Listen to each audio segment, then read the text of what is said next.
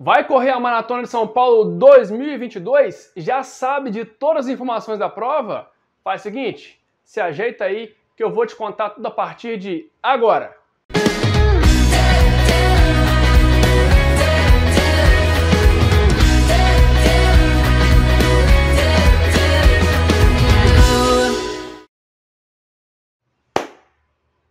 Fala, corredores, tudo bem? Vai correr a Maratona de São Paulo? Tá chegando a hora, hein, meus amigos? Pela primeira vez eu vou correr essa prova, então, como sempre, trazendo para vocês as informações pré-prova, tudo que você precisa saber. Não podia deixar de passar por aqui também, falando sobre a Maratona de São Paulo 2022. Lembrando sempre que todas as informações que eu disser para vocês aqui estão no regulamento da prova. Então, acabando esse vídeo aqui, acesse o site da prova, acesse o regulamento da prova para saber mais detalhes. Inclusive, acompanhe também o Instagram da Maratona de São Paulo com informações ali quentinhas também em primeira mão. Então, ó, já te peço de uma vez, se inscreve no nosso canal para a gente poder continuar fazendo vídeos como esse com muita informação, certo? Vamos lá então? Começando então pelo protocolo sanitário que tem mudança. Atenção! Sim, meus amigos, para quem não é de São Paulo, né, várias cidades e vários estados já tiveram a retirada das máscaras. São Paulo não é diferente. As máscaras agora não são mais obrigatórias, tanto na largada quanto na chegada e nem na arena. Mas a organização pede que nós, atletas, continuemos a usar, porque é um ponto de aglomeração, inclusive também usar o álcool em gel, tá? Não é mais obrigatório, é opcional mas conforme a organização orienta, vamos usar a máscara aí, pra, pelo menos para largada e para chegada, né? Importante, quem tiver com sintoma de Covid, não vá para a prova. Retirada de kit. Para quem não sabe, o endereço está aparecendo aqui na tela. É no Shopping Light, no terceiro andar, no centrão ali de São Paulo. Coloca aqui então, ó. Coloca, já coloca no Google para saber aonde que é. Você que é de fora, de repente se orientar como é que chega. É super fácil chegar lá. A entrega acontece nos dias 7 e 8 de abril, ou seja, quinta e sexta, das 10h30 da manhã às 21h30. A organização, inclusive, pede para que os moradores de São Paulo procurem buscar o kit nos primeiros dias, para deixar os últimos dias, inclusive o sábado, dia 9, que é a véspera da prova, a entrega do kit é no horário das 10h30 às 17h30 para quem está vindo de fora correr a prova, que é um horário bem curtinho. E não tem entrega depois disso, então fiquem ligados. Documentos para retirada de kit. Atenção! Se é você que vai retirar o seu kit, documento de identidade original com foto, comprovante de pagamento da inscrição, carteira ou comprovante de vacinação com duas doses. Essa é uma exigência do município de São Paulo. Se você for retirar para alguém ou alguém for retirar para você, atenção. Primeira coisa, tem que ter uma autorização do atleta. No regulamento da prova tem um link que você pode baixar e pegar aí o exemplo para poder fazer essa autorização para alguém pegar o seu kit. Sem isso, não pega o kit. No formulário tem que ter os dados do atleta e os dados da pessoa que vai retirar o kit Cópia simples do documento de identidade, cópia do pagamento da inscrição, cópia da carteira de vacinação ou comprovante de vacinação com as duas doses contra a Covid-19. E além disso, a pessoa que vai retirar o kit tem que ter documento de identidade e o comprovante de vacinação também com as duas doses. Senão a pessoa não vai entrar na Expo para retirar o seu kit. Então a pessoa tem que estar vacinada e o atleta também. É regra do município de São Paulo. Pô, falei em Expo. Vai ter Expo afinal? Sim, vai ter Expo. No terceiro andar lá do Shopping Light, quando for retirar o kit, vai ter as lojas dos patrocinadores e apoiadores da prova, inclusive loja da Olímpicos. Os tênis lançados pela Olímpicos recentemente estarão à venda lá na Expo da entrega de kit. E vai ter cerveja também, me falaram aí. Confere depois lá. Outra dúvida, essa acho que é a maior de todas. Vai ter guarda-volumes? No regulamento estava meio nebuloso e tal. Sim, vai ter guarda-volumes, mas a organização orienta o seguinte: use o serviço apenas em último caso e apenas para deixar o mínimo de coisa possível. porque é um ponto, infelizmente, de muita aglomeração, muita gente coloca, usa o serviço, então evite. Use apenas se extremamente necessário, então vai ter guarda-volume, sim. Largada e chegada do evento. Qual que é o endereço? Sim, a largada e a chegada das três provas, 5K, meia maratona e a maratona, são no mesmo lugar. Tá aparecendo aqui o endereço para você colocar, inclusive no carro do aplicativo, quem é de fora, por exemplo, para poder indicação você colocar no aplicativo e chegar no lugar certo. Para facilitar a vida, é no Parque do Ibirapuera, ali na região do Obelisco. Mas o endereço tá aqui, ó. Copia ele, deixa salvo no seu telefone aí para você colocar lá na hora no aplicativo para não errar. Ou quem for de metrô, o metrô mais próximo da região é a estação Paraíso. Detalhe, tá rolando muito cancelamento de carro de aplicativo em São Paulo. Não deixe para pegar o seu carro de aplicativo na última hora, senão você vai correr o risco de não largar ou não chegar a tempo. Horários das largadas. Coloca na tela para o pessoal poder acompanhar melhor. Primeira onda, categoria cadeirantes, largada a partir das 6 e 10 em pelotão único.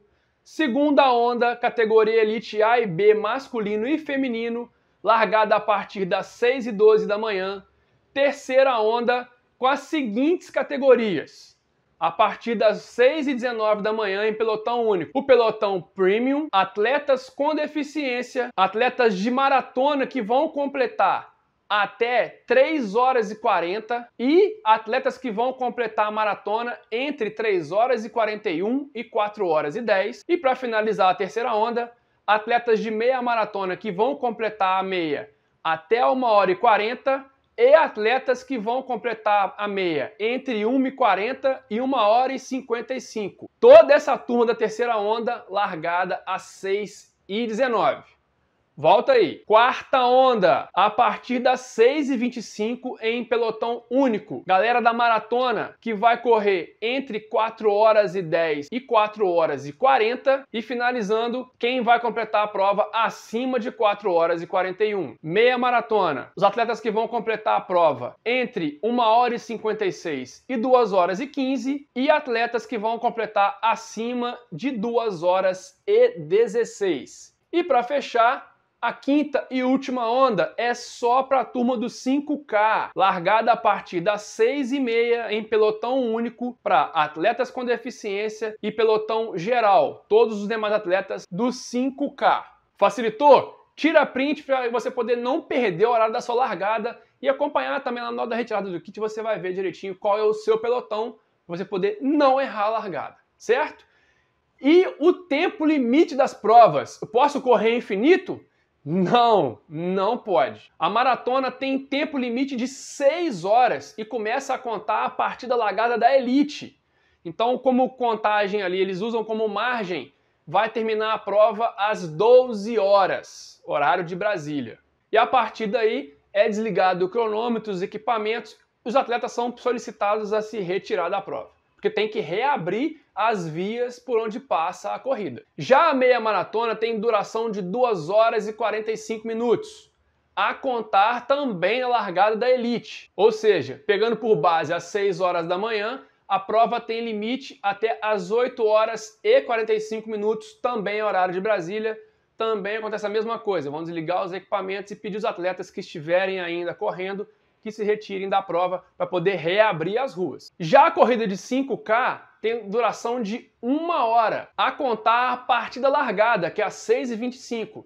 E aí, diferente das outras duas provas, vai ser solicitado que o atleta do 5K abra caminho na via para a elite da maratona passar e da meia também e não ter nenhum problema. Tudo isso está em regulamento. Então, ó, acesse o regulamento, leia que está tudo explicadinho lá. E o percurso? Vai ter dica do percurso? Calma que nós estamos correndo atrás disso aí. Em breve no nosso canal um vídeo sobre o percurso da prova. Mas até lá, te adianto duas coisas. A primeira delas, o percurso volta para o percurso original, né, lá de 2019, antes de te acontecer a queda daquela ponte. E já te passo também para você poder montar a sua estratégia onde serão os pontos de apoio da prova. Ó, nos 42 quilômetros serão 19 postos com água, banheiro e médico. Todos os postos que tiver água tem banheiro e médico junto.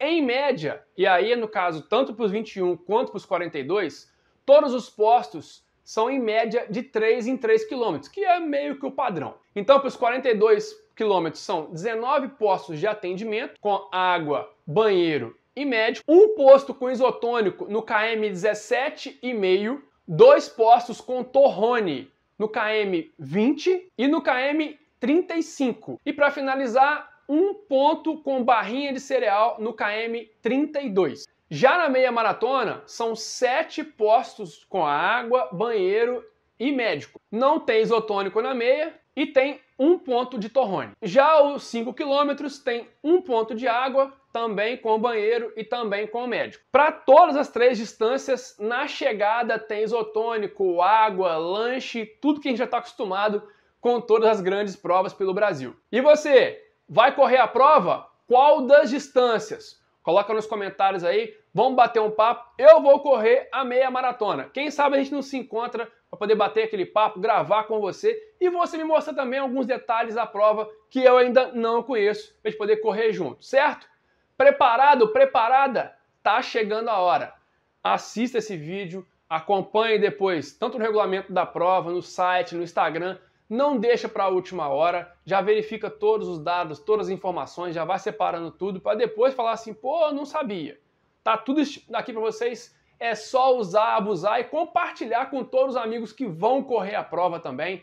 De repente não tem ninguém sabendo de nada. Infelizmente a prova era para ter acontecido em 2020, então tem muita gente inscrita lá de 2020. Eu também já ia correr a prova nessa data, mas aí tudo isso aconteceu. Agora vai. Felizmente agora vai rolar a prova e vai ser aquela festa bacana. E você? Gostou do vídeo das informações?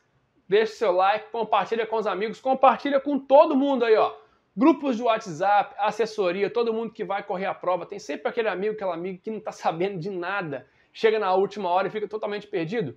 Só compartilha o vídeo, não fala nada a pessoa vai entender, vai assistir, vai saber de tudo. Dá aquela moral pra gente, se inscreve no nosso canal para que a gente possa continuar fazendo vídeos como esse, informativo para vocês, para não perder nenhum detalhe e não ser pego de surpresa. Ao se inscrever no nosso canal, marca o sininho de notificação, que é assim que os vídeos saírem, você é notificado, assiste sempre em primeira mão, não perde conteúdo. Acompanhe nas mídias sociais no Facebook, Instagram, Strava, Telegram, tudo é programa quilometragem sempre com K.